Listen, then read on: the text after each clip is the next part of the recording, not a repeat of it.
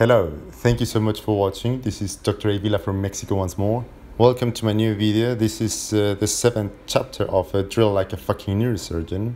I'm very glad to tell you that there are above uh, 250 subscribers by now.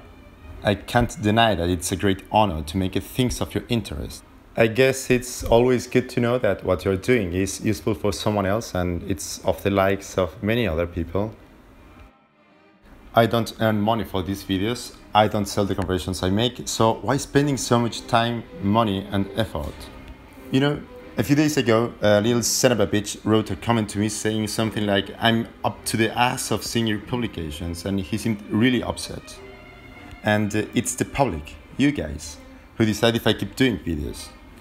I mean, I do something else for a living. Uh, I just found a way to apply my knowledge to scale models in the end, it's a hobby for me as well. And the, the most extreme thing about uh, this situation was the matter of fact that it's an sculptor, the guy that wrote that thing. To be quite honest, I can barely manage a YouTube channel and a, and a Facebook uh, personal account. So please, please don't expect me to have a website, a blog, Twitter, Facebook dedicated to this, whatever you may suggest. I'm sorry, um, you can always block me, but I'll keep posting like that. If you generate uh, hundreds of likes and visits on your videos, then it does mean something. It's you who decide the fate of these tutorials. I'll keep doing my best and try to make it as interesting as possible. I'll keep converting uh, and it's up to you if you would like to see my work or not. However, it has been an amazing experience. Now I understand the importance of clicking thumbs up, leaving comments, or even more important, to subscribe to a channel. I was not subscribed to anything before. That's true. Um, I found it a waste of time, to be honest. But since I won't get a penny for these videos and I'm spending uh, hundreds of, of, pounds in some of them, then and just then it becomes important to, to have a parameter, a plausible one, to know that I'm doing the things right.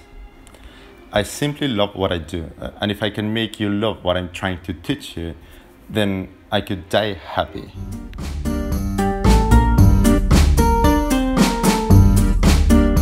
Last but not least, uh, there is another thing that, that I found of uh, extreme importance. Whenever I make a tutorial, I really don't expect you to buy every single item I show you, and uh, I really don't want to. I'm only proposing an idea of what you could do to your miniatures. My point is, it's not about Space Wolves, Dark Angels, Word Bearers, or whatever. It's not even about, about Space Marines or 30k, it's about a new way to see and do things. Some people feel confused about the contents and think that I'm intending to teach exactly what you see in each of my chapters. That's something I wanted to point out. Well, that's it for today. I thank you so much for watching. Uh, have a nice weekend. I hope you enjoyed the video. If you would like to see how I casted that skull on the flames, then it's only for su subscribers. I, I, think it's a, a, nice way to thank them for their, their support.